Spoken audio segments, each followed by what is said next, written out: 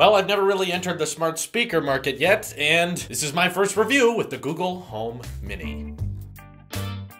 I understand a lot of people have asked me about this, and in fact, a lot of people have purchased this product, and I think that's why so many people were so curious, because they were like, Drew, I bought this thing that's made by Google. You don't really like Google. Why don't you also buy this thing? That way we can agree on something. At least that seems to be the most common consensus. But anyways, for the past few days, I've been using it, and I've pretty much got it into a rhythm of what it's good for and what it's not good for. And a lot of people are likely expecting me to say that this is terrible, this is not a product you should buy because you are an Apple sheep. This is not made by Apple. Therefore, you should wait until the HomePod is available and just be like, $350 for a better speaker, that's okay. Where this is not okay. But the issue with complaining about cheap products, as I've discovered recently, as so many people commented on my live unboxing of this speaker, is that when a product is so incredibly cheap, it's very hard to complain about it because every single complaint I may have about the sound quality or about I don't really find the Google Assistant super useful, but then again, I don't really find many digital assistants very useful. To me, Siri, at least, is good for like texting, playing music, and looking up quick facts occasionally. And yes, while I agree the Google Assistant is faster at all of that, you can access the Google Assistant on any smartphone, not just Android. We have this on iOS. But yeah, the fact that this thing costs $30 and it's normally 50, but apparently it's on sale for the rest of 2017. And depending on where you get it, you can find it even cheaper. A cousin of mine bought the Google Home Mini with a $26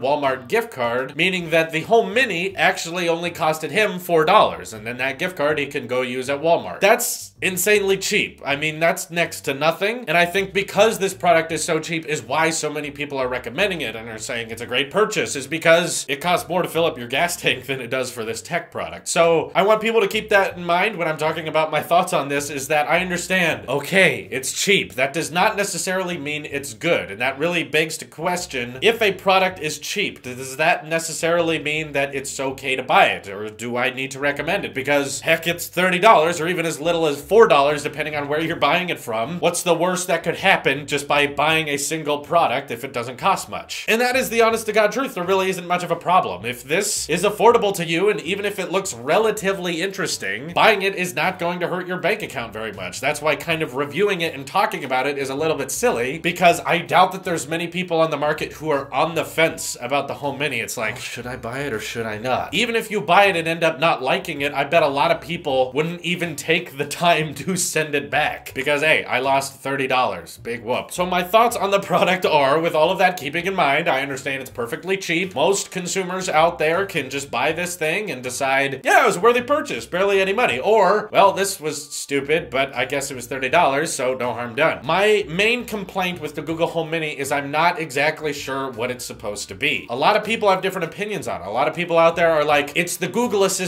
brought to more people. They lowered the price of the regular Google Home so that more people could enjoy the Google Assistant powering their smart home devices and setting timers. I can't believe for a 2017 product how much consumers bring up the fact that you can set timers on a $30 device. Timers have been around for a while and they're typically on your smartphone, they're on your watch, they're on your iPads even. And I get that those are more expensive. I'm just saying we don't pay for a single product that does that one single thing. Typically, you know, you have to have a smartphone to set up this device. So if you have a smartphone, I think you have a digital assistant in it that can do that already. And the difference between the smartphone and this device is that the smartphone can go places, which of course what I'm trying to say is you already have. I'm not trying to say that this should be compared to a smartphone. I'm just saying that you have devices already that are capable of doing basically everything this is advertised for. Except one thing, being a dedicated speaker. That is the primary difference in hardware between an iPhone or a Google Pixel or a Galaxy phone, whatever it is. The primary difference between this device and this device is one of them is a dedicated speaker and one of them is a smartphone. We get this. The reason I'm talking so much about what this device is is because I don't think it's a very good speaker. It does not sound very good. I understand that it is cheap. You can bring that up all you want. That does not change the fact that the sound quality to me is not very good, given that maybe I'm a bad example, but I have an iMac with pretty good sounding speakers on it. I have a MacBook with pretty good sounding speakers on it. My iPad sounds pretty good, and even my iPhone with its stereo speakers are pretty good for most daily things. I feel like if you're buying a device that is dedicated to just being a speaker, then that primary objective, the fact that your smartphone is not a dedicated speaker, your iPad is not a dedicated speaker, then these smart speakers should have an emphasis on sound quality. If that's primarily what it is. It's a smart speaker, or is it a digital assistant that also has a speaker attached to it? A lot of people aren't really sure. I've heard a lot of people say one thing and a lot of people say a different one, but having used a Google Home at a Best Buy, I definitely can admit that if you absolutely need a smart speaker, you should buy one that actually sounds good. You should buy something that fills the room with crisp sounding audio with good bass. And to me, it's not like this thing is quiet. This thing is definitely loud, but I'm not even an audiophile, and I can admit that loud is not necessarily good. It's very loud, but it's very heavy on the trebles. Of course, there's no subwoofer, and I can't really blame it because it's so tiny. A device this small can't really sound very good, so I understand you're trying to make something small that has the Google Assistant built into it, but that also requires a speaker. So I'm just kind of confused of the purpose of this device. I feel like its primary goal is to be cheap so that everyone can buy one, or everyone can buy several of them and just have kind of a fun toy. To me, this definitely falls into the toy realm because with digital assistants, every person who says why you should buy this thing falls to the same like five answers. It can play you the news, it can set timers, it can play music, which of course is kind of dependent on the sound quality, you'd think, and you can ask it random questions, which I must have to say, maybe this is the fundamental difference between us Apple sheep and the rest of the world is that I'm not sitting around my room, I'm not sitting in the living room and just thinking of random questions. That's not in my daily life. If it is, the very rare time, I'll typically just go on my phone and search it. There's a lot of questions I have that this thing cannot answer. And while I admit, yes, that the Google Assistant is very, very smart, that does not mean I'm going to go out of my way to talk to this device every single day. It's just not in my nature. If that is in your nature, congratulations, your phone still does it. But again, you can keep resorting to the fact that, hey, it's $30. See, I just recently reviewed the UE Megaboom, which is a very good sounding speaker. Wireless one that can connect to your phone and you can take it with you. It's water resistant. And yes, I understand that's more expensive. That was around $150. So yeah, for the price of that, you could buy five of these, but at the same time, you'd have five average sounding speakers versus a really good sounding speaker gets incredibly loud, has amazing bass quality. Overall sound is crucial over there, and I can take it wherever I go. If I want to pair it to the TV, I can do that. If I want to go on a hike and play music on the hike, I can do that. If I want to listen to it in the tech room, I just take it with me. If I want to listen to it in the lobby, I take it with me. That's the great thing about mobile speakers. Whereas this, while it kind of feels like it should be a mobile product, then I think that I would probably give this thing a bit more credit if you could take it with you. If this had a battery pack on the bottom or something, and you could just throw this in your backpack and now you have the Google Assistant on you all the time, that would make a tad more sense. But the fact that this doesn't go anywhere, I find like a very minor difference in my lifestyle with this device. And I never look at this thing and think, oh, thank God I have you. Thank God I purchased this. It's so helpful in my day to day life. It's kind of like, oh yeah,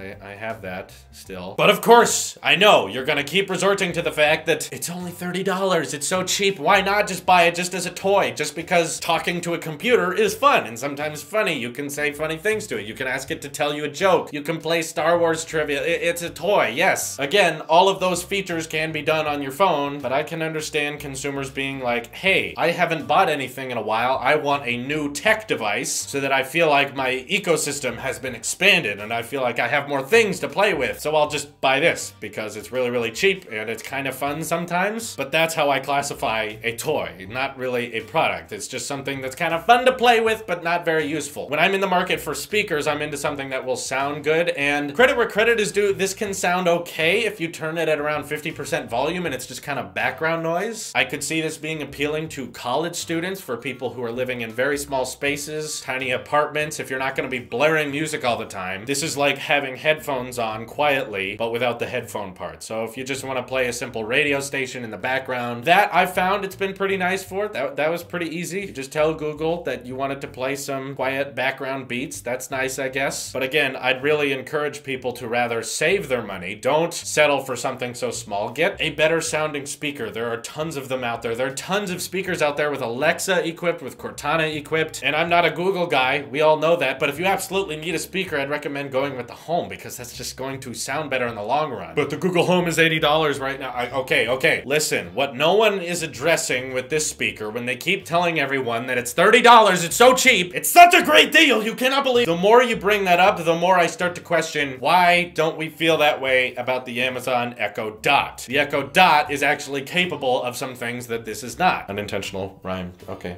So first of all, one of the first things I wanted to try with this thing is maybe it could just introduce you to the Google Assistant and then could convert my other speakers, my other older speakers or other wireless speakers into a Google Assistant powered device. That way this could just listen to you and because the speakers are not very good, you could rely on other speakers for playing back audio. That's what I thought this was. Apparently it is not. I have looked online. You cannot pair wireless speakers to this device. I was really looking forward to pairing my Megaboom to the Google Home Mini. That way I could tell Google to play something and it would come out of the Megaboom and sound really nice. It doesn't do that. But you know what does? The Amazon Echo Dot. And heaven forbid you must use the headphone jack, which you guys know I'm not a fan of. But if you have an older stereo system, I could even understand having a headphone jack on the Echo Dot because what it means is you're converting your old style speakers, your speakers that aren't wireless, into a smart device, into a device that can listen to you and you can voice command it and stuff. That's actually useful. And the Echo Dot, at least right now, it might not be till the rest of the year, but right now is $30.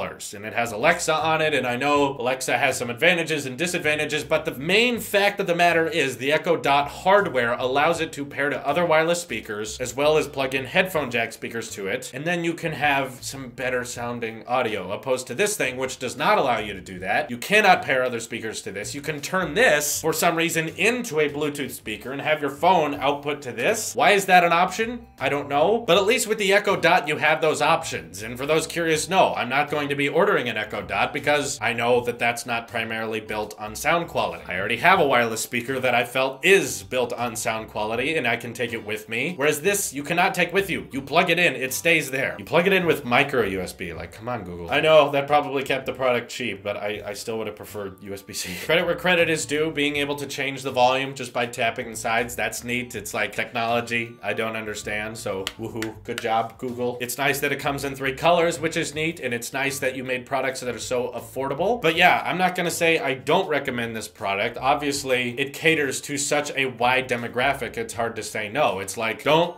waste $30 on this device because you'll probably get a couple hours of entertainment out of it over the course of its lifetime where you're just kind of like, hello, Google, do this. And I say hello because statistically, when I say hello, it doesn't activate, and I don't want to set your guys' off. But my point is, while yes, it's very cheap and it's very nice that you can expand your tech ecosystem and have a new toy to play with for a very cheap price, I'm also going to say that if you haven't bought one yet, your life is going to be perfectly fine without it. I look at things like my Apple Watch and think like, how could I live without this? And I use my iPad on a daily basis. I use my phone, obviously, on a daily basis. I feel like those have functions in my life, and this, I feel like, is almost built for kids. It's like, I need to go out of my way to use this device, so all I'm saying is functionally not necessary, just kind of extra. But again, because it's so cheap, I, I can't blame you for buying it. It's like, well, I don't care what Tailosive Tech says about the Google Home Mini. I can just spend $4 and try it for myself. In fact, if you can find good deals on the Google Home Mini you can find it really, really cheap, I'll actually encourage you to buy it because I know Google's losing money on it. There's no way this thing costs under $4 to produce. So if you're finding those really good deals at Target or wherever, do take them because Google's losing money on that. Anyway, I'd be curious to see Apple's approach if they made a mini mini HomePod. Obviously, I'm biased, so I would probably like it more than this, but it would probably sound better. And as of now, it sounds like Apple can't really get their stuff together yet for the HomePod, which I'm very excited for because as I've mentioned in this video, I think that smart speaker doesn't have a focus on being smart because that's more toyish elements, but it has a focus on being a good speaker. The people who have listened to it at WWDC mentioned that it definitely outperformed the Amazon Echo in Google Home. While costing a lot more, I get it. Apple's not about being the cheapest. They're about being the best. So I'm excited to hear it. And while yes, it'll cost a lot more, I'll be a lot happier to have it in my life. Just to be able to talk to that speaker and tell it to play some background chill music and have it sound really, really crisp. I'm looking forward to that. This is just kind of like, eh, yeah, cheap, cheap, cheap product. You have to keep bringing that up when you're talking about it. But again, there's an Amazon Echo Dot that can do a lot more, more functionality. You can plug it into different speakers. You can pair it to Bluetooth speakers if you decide to upgrade your sound system down the road. Whereas this, just filling your house with these, I, I don't see the point. Anyway, let me know your thoughts and comments on the Google Home Mini. I'll be curious to hear them. This is your Apple Sheep here, and I will see you in the next one.